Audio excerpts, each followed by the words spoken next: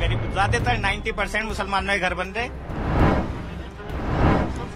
नहीं सिक्योरिटी आपको दंगों से सिक्योरिटी बीजेपी सरकार दे रही है बताओ। दो हज़ार तेरह के बाद दंगा नहीं हुआ। बताओ। दो हज़ार तेरह आपने दंगा किसने भी करवाया? सिक्योरिटी तो वही दे रही है तुम्हें। कि दंगे नहीं होने के? दंगा तो होने का नहीं। भाई भाजपा अगर सत्ता में है तो दंगा होने का नहीं। सारे सारे दंगे किस बात में है? दंगे इसी बात में हमें वोट दो नहीं तो हम तो मारेंगे। आपके बेटे हैं ये।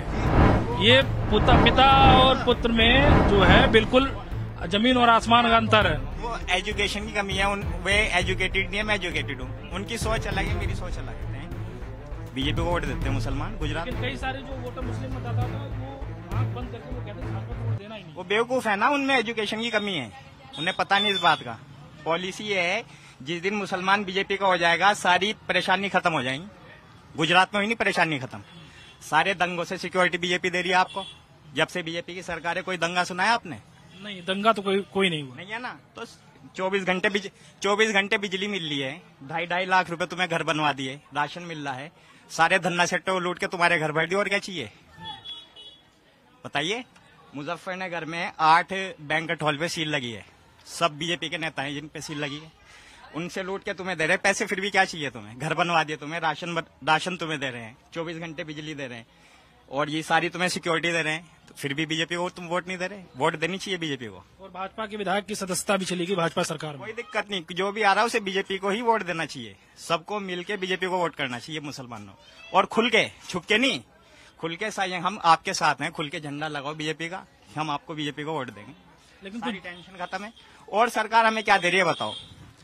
मुसलमानों मुलायम सिंह यादव कोई मुसलमान है? मायावती मुसलमान है? कोई भी मुसलमान नहीं सब एक ही है। उसे वोट देनी चाहिए जो आपको सिक्योरिटी दे रहा है। सारे काम करा दिया आपके बताओ। सारे मुसलमानों के घर बन रहे ढाई ढाई लाख रुपए मिल रहे सबको। मतलब सरकार में कोई भेदभाव नहीं है किसी से? कोई भेदभाव नहीं है। धन्ना सेट्टे को लूट के तुम्हारे घर भर दिया और क्या चाहिए? क्या नाम बताया था आपने? मोहम्मद काशिफ है मेरा नाम। मोहम्मद काशिफ जी। वोट देनी चाहिए बीजेपी को। खुल के छुपा अगर बीजेपी का नाम है तुम्हारी वोट की ज़रूरत नहीं फिर भी वोट देनी चाहिए बीजेपी को। लेकिन अभी हम पीछे मार्केट में बात कर हो सकता है कि नेता आपको कहेंगे फ्यूचर में कि हमें तुम्हारी वोट की ज़रूरत नहीं है साफ़ कहते हैं मगर फिर भी बीजेपी को ही वोट देनी चाहिए मुसलमानों को। तो कासिफ जी का कहना है कि मुस्लिम मतदाताओं को भाजपा की वोट देना चाहिए और खुल के वोट देना चाहिए। उनका ये भी कहना है कि सब भाजपा सरकार है जिसने गरीबों को राशन दिया गरीबों को घर घर बनवाया। कई सौ लोगों घर बन गए ढाई ढाई लाख रुपए दिए। सब मुसलमानों के घर बन रहे। सारे हाँ हाँ गरीब ज़्यादातर नाइन्टी परसेंट मुसलमानों के घर बन रहे। नहीं सिक्योरिटी आपको दंगों से सिक्योरिटी बीजेपी सरकार दे रही है बताओ।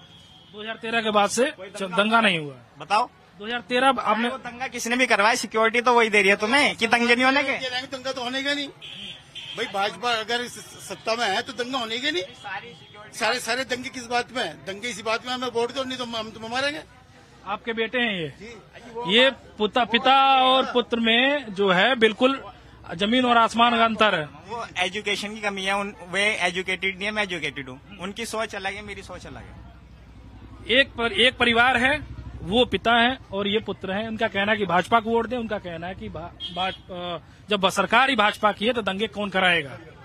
2013 में आखिर 2013 को किस तरह के देखते अगर अगर मुलायम सिंह मायावती आ जाती दंगे शुरू हो जाएँगे इसलिए भाजपा को वोट देने में फ़ायदा है। हैं? आपको क्या लगता है कि मुलायम और मायावती जो है वो अ, सुरक्षा प्रदान नहीं कर पाती हैं?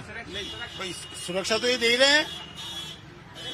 भाई समझे नहीं अगर मुलायम सिंह आएगा जब दंगे होंगे मायावती आएगी जब दंगे होंगे आरएलडी आएगी जब जब दंगे होंगे और भाजपा सत्ता में तो फिर दंगा क्यों होगा? मतलब ऐसा है कि जो सरकारें हैं भाजपा को छोड़कर अन्य सरकार जो वो सुरक्षा नहीं दे पाती हैं। हाँ सुरक्षा ही कमी है नहीं समझे नहीं ना सत्ता चाहिए लड़वा के हमें भाइयों भाइयों में लड़वा के लिए सत्ता सत्ता की ज़रूरत है जो सरकार होगी सरकार जो होगी सुरक्षा तो वही देगी ना? आज सरकार भाजपा भाजपा सुरक्षा देगी जब भाजपा से सत्ता में होगी और दूसरा अगर आ गया तो फिर दंगे होंगे। दंगे कैसे होते हैं? दंगे करवाए जाते हैं तो, दूसरी पार्टियाँ अगर चाहें तो वो भी तो करा सकती हैं। वो दूसरी पार्टियाँ इतनी गिरी नहीं दूसरी पार्टी? दूसरी पार्टी दंगे जो विपक्ष में दंगे कराती है। लेकिन दंगे रोकना का काम है जो सरकार में है। वो फेल हो गए उसमें दंगे रोकने में। भाजपा पास है भाजपा की सरकार में दंगे नहीं हो सकते। विपक्ष अगर चाहे जब भी नहीं हो सकते।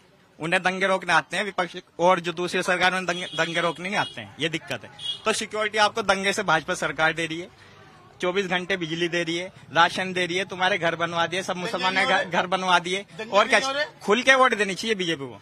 ये एक अहम निकला ये ये पिता हैं और ये पुत्र हैं दोनों में ज़मीन आसमान का अंतर है। ये होना भी चाहिए किसी पे कोई दबाव नहीं होना चाहिए पारिवारिक की राजनीति में है हम तो वोट हमारा परिवार के एक होना चाहिए। और काशिफ मे- मेरी वोट तो मेरी वोट है मैं दो तीन बार वोट दे चुका हूँ। मेरी वोट बीजेपी को जाएगी।